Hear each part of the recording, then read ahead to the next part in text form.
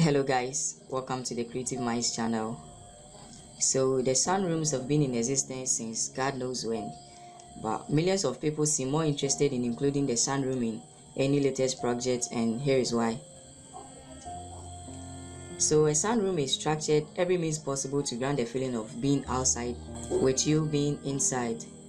It simply gives the most fascinating view of the environment to the owner without actually exposing any part of the house to the actual environment.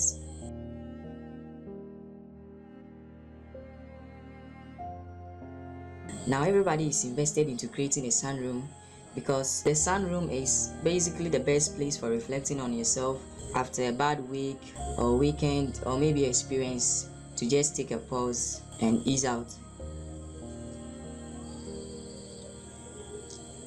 Now taking the sunroom as an office, just imagine the amazing ideas you could arrive at planning your projects under these beautiful skylights. You are literally exposed to nature to think big and wide. Actually, there is no better place to lay, relax yourself on a normal cool day than the shades of a sunroom.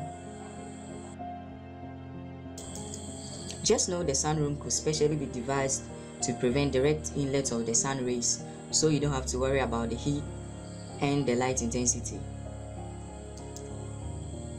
Interestingly, the sunroom is made purposely for lounging. I mean, can you imagine a family time in the sunroom?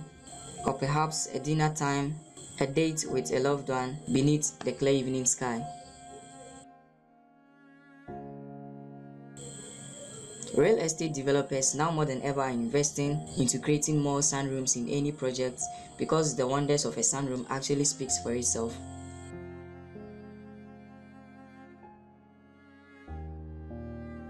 Skyscrapers actually started off as this, but now all glassy and the idea of a sunroom actually inspired making a whole building into glass like the sunroom. As you might have noticed, the sunroom is a genuine spot for growing potted plants, flowers, fruity vegetables most especially. Some might refer to the sunroom as an indoor garden or as a tiny living room, a restroom maybe, but I know the sunroom to be the only room in the whole house that you could convert into any other room and it works perfectly too. So thanks for watching, make sure to subscribe, like the video and leave your comments in the comment section. See you next time.